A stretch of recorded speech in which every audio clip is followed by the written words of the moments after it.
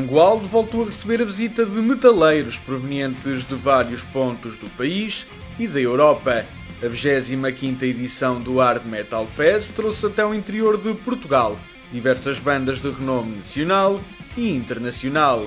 O cartaz de excelência e o convívio que se vive entre o público foram motivos decisivos para que a edição 2019 voltasse a contar com uma boa afluência. O espírito de, neste tipo de festivais é sempre bom entre vocês? Sempre. É, é uma sempre. família. Isto é, é uma, uma família. fraternidade. Consideramos tipo.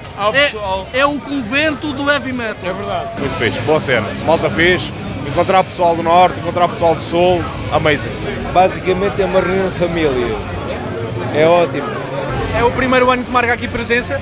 Não. Já tive cá muitas vezes, muitas vezes mesmo. E adoro. É o primeiro festival do ano. Eu acho que é, é um convívio fantástico.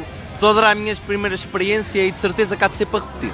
Claramente, claramente. Eu, não vi, eu já não vim logo nos, inícios, só comecei a vir para há coisa 3 anos, 3 anos, mas, mas sim, o convívio é muito bom. Quanto ao uh, cartaz em si, é um cartaz apelativo? Sem dúvida, claro. Cartaz apelativo, bandas de fora, bandas tugas. Quais é que são as bandas que destacam? Gama Bomb. Gama Bomb, muito bom, muito bom. O cartaz é extraordinário. Já vi Balmog, que era a que eu vinha ver, mas pronto. Grim Reaper interessa-me especialmente e também o Chris Holmes do, do Zoar. Agressor. Também, também. Gama Bomb e Analepsy. É, também Agressor e Nightingales também. Nightingales e Agressor. Ao longo dos últimos 22 anos, o festival de peso mais antigo do país contou com 25 edições.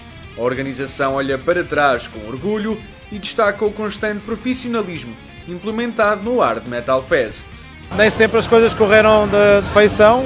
Começou com uma brincadeira, mantivemos o festival, mesmo contra algumas coisas que nós estávamos às vezes a, a contar com alguns entraves. Uh, mantivemos o, o festival ao, ao, fim destes anos todos. Agora há mais uh, comparência, o pessoal, há mais profissionalismo, tanto a nível de som, a nível de, de infraestruturas.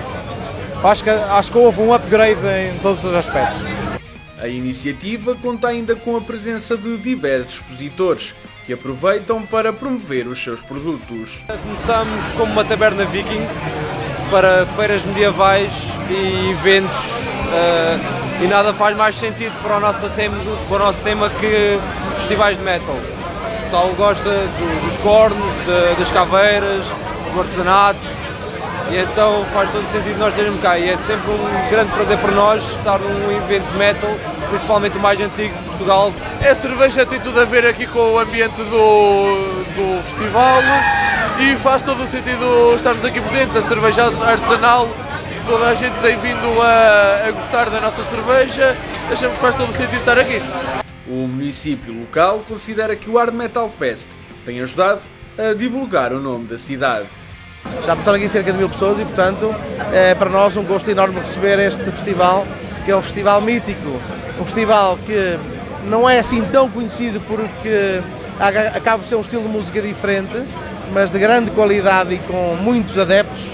Mas efetivamente este festival marca este estilo de música no país e também uh, na Europa. Acaba por ser um marco que vem pessoas de todo lado.